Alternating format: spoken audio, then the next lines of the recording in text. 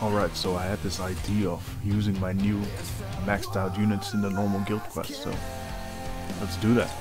Let's see what I can do, and what they can do. I'm expecting like under a second run. Easy.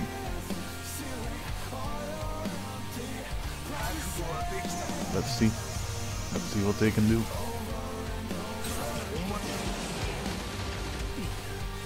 Well, and there you go. Under a second.